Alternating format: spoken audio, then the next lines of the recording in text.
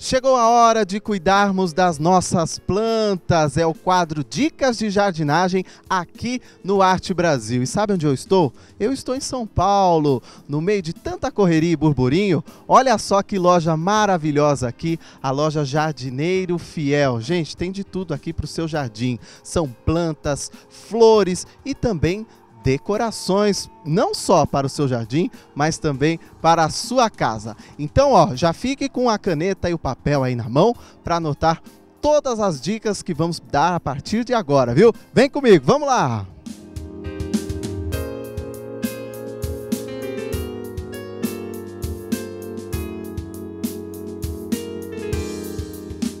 Viram só que lugar maravilhoso? É, hoje o nosso Dicas de Jardinagem está especial. Nós vamos falar sobre plantas de ambiente interno. Eu estou aqui com a Gabriela Pileste. Tudo bem, Gabriela? Tudo bom? Olha, parabéns pela loja, viu? Obrigada, maravilhosa, obrigada. maravilhosa Como mesmo. Agora, é importante a gente observar, né? Ah, eu tenho um cantinho em casa, quero colocar uma planta, é possível ou não? O que, que eu preciso observar? E até mesmo qual tipo de planta é possível cultivar dentro de casa? Olha, eu acho super importante você falar, ah, olha, eu tô, eu tenho uma, eu tenho, tô em casa, não sei que planta que eu coloco. Tem muita gente que chega para mim e fala assim, olha, eu adoro tudo isso, acho tudo isso muito bonito, mas infelizmente eu moro num apartamento, eu não posso ter planta em casa. Todo mundo pode ter uma planta em casa. Todo mundo. Então, o que é mais importante você saber, na verdade, é que tipo de planta você pode ter na sua casa. Para você saber que tipo de planta você pode ter na sua casa, você precisa saber que, que, que luminosidade você recebe. Então, o que acontece? Você, quem tem uma casa que tem uma varanda, pode eventualmente pegar um sol direto de muitas horas. Ah, pode pegar quatro horas de sol direto, você pode até ter frutíferas dentro da sua casa com quatro horas de sol direto, tem uma horta maravilhosa que você pode colher em casa. E quando a gente está falando de planta de apartamento, que é o mais conhecido, a gente está falando de plantas de interior, que são plantas de sombra e meia sombra, plantas que recebem pouca luminosidade. E o que acontece? Quando você tem plan- plantas de pouca luminosidade, ah, você normalmente precisa de plantas de mais resistência. Que plantas são essas, eu falo?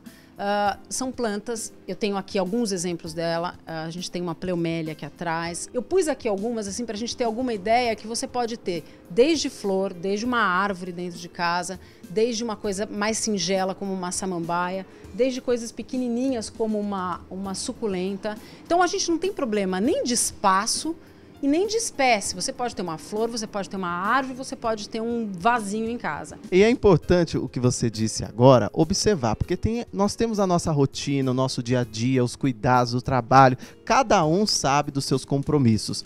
Como eu sei se eu vou conseguir cuidar daquela planta? O que, que eu tenho que observar?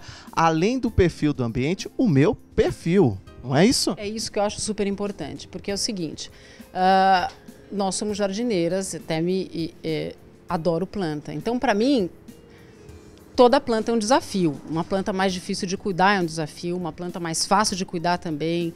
Alguma planta que eu tenha que podar com uma certa frequência. Enfim, eu gosto desse assunto. Para mim é legal ter uma planta que tenha um certo desafio. E eu costumo perguntar assim, que tipo de jardineiro você é, porque é o seguinte, que tipo de pessoa você é? Porque eu e como eu posso classificar essa pessoa? Como você está afim de se dedicar para essa planta?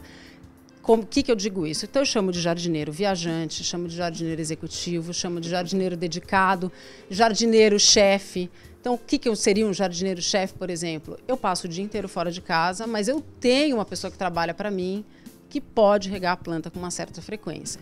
Então, por que isso? Por exemplo, muita gente que mora sozinha em apartamento ah, pode ter uma planta em casa e regar uma vez por semana.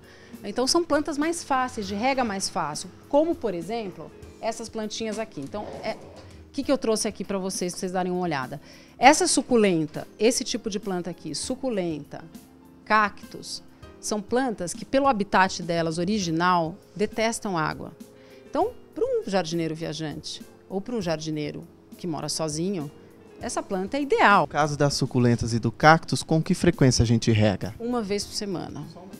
E eu vou te mostrar como que você rega uma planta, um, tipo um cactus e uma suculenta, uma vez por semana. Ela precisa deste nível de água. Isso aqui é um, para quem não conhece, isso aqui é um borrifador simples. Ele parece mais uma engenhoca mais é, complicada, mas não é. É um borrifador. Para regar esse tipo de planta, isso aqui é o ideal, porque você perde a medida a hora que você põe regador para regar a suculenta. Perde a medida, sai muito mais água do que o necessário. Então, o que, que acontece? A hora que você vai regar, o ideal é não pegar na folhinha dela. Direto na terra. Direto na terra, suculenta, porque senão a folha dela começa a ficar murcha e começa a apodrecer. Muitas suculentas que você vê perdendo as folhinhas é porque você molhou, ela ficou com esse ambiente úmido. Na natureza dela, ela não tem esse ambiente. Ela começa a sair fora. Então, só fazendo a rega uma vez por semana já é suficiente no caso aí das suculentas, né? Aqui você separou para nós dois outros tipos. Eu queria que você comentasse. Essa que está ao meu lado, como é que ela chama? Pleomele. Quais são as características dessa planta? Essa é uma planta que é uma planta ela é de muito fácil adaptação em qualquer ambiente interno.